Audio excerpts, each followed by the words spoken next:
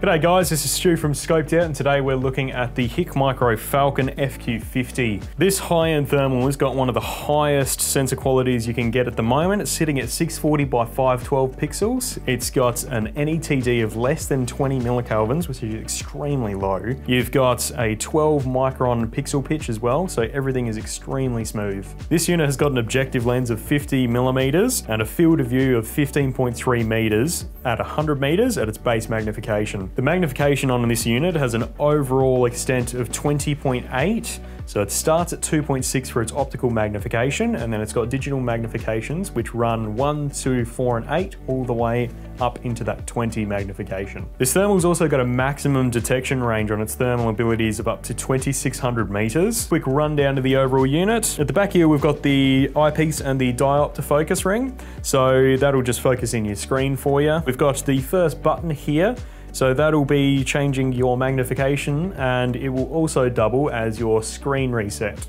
if you hold the button in.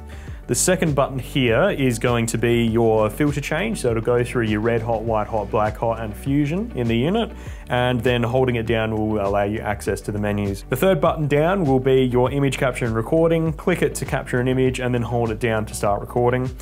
The last button here will just be your sleep and your power mode. It's just pretty self-explanatory. You can click the button and it will set it to sleep to save power. And then you've got your last bit here, which is just the image focus at the end. A couple nice features about the unit as well. It's nice and comfortable on the hand. It's a nice tube sort of style there. All the buttons are very easy locatable at the top as well. Nice feel to it. The battery compartment as well. You've got a nice little ejection port that happens here. So you got lock and you turn it to open and then you can just kind of pop the battery out like that. It's nice and easy. One last nice feature about this is the internal settings. You've got Image Pro and Jungle to filter through. So they'll help you bring out the image a little bit more in different ways. So Image Pro is going to increase the contrast and make the images a little bit sharper, difference between the background and the actual objects you're looking at. So that's quite nice. And you've also got the Jungle setting, which will allow you to darken the background out and bring out the vibrancies a bit more, which will help you identify targets in dense shrubbery and terrain. So that's quite a neat little feature in there as well. Easy, that was a quick little look at the HikMicro Falcon FQ50. I'll see you guys in the next video. You have a good one.